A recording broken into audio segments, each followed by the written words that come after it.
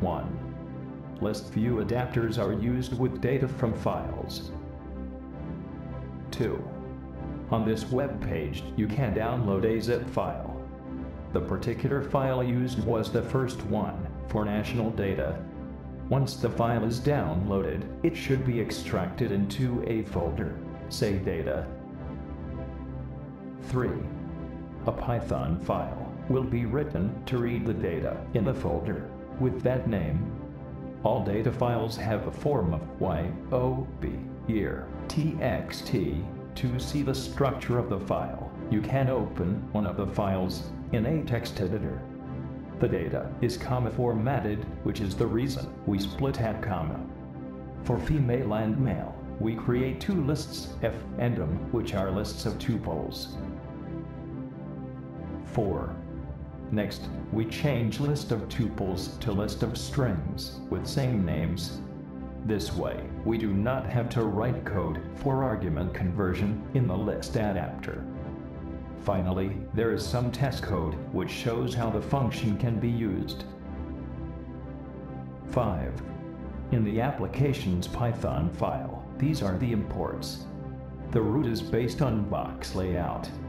The list item button is imported to create subclasses for the three list views.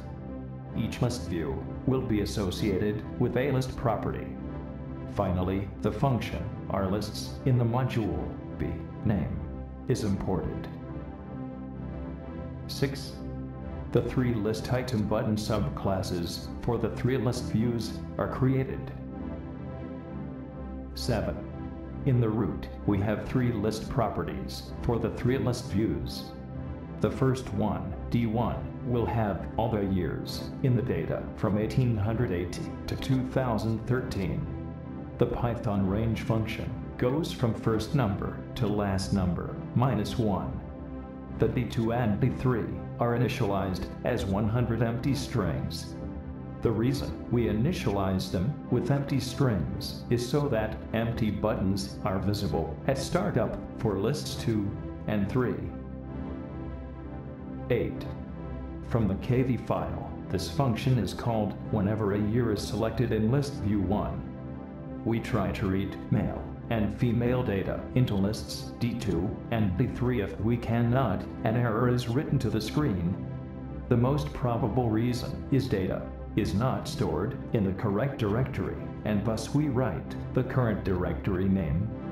Once you put data in that directory, the program should be rerun. 9. These functions are called when an item in list view 2 or list view 3 is selected. It just prints the text of the selected item. 10. The app code must exist for the main Python file. 11.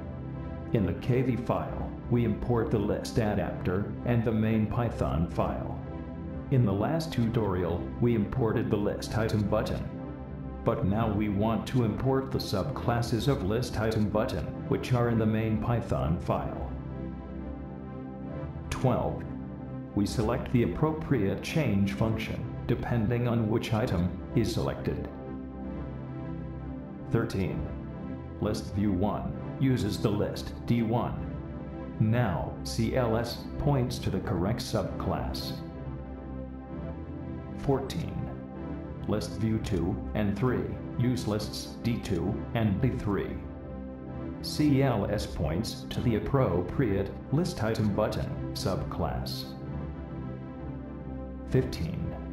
This is the result when the year 2013 was selected.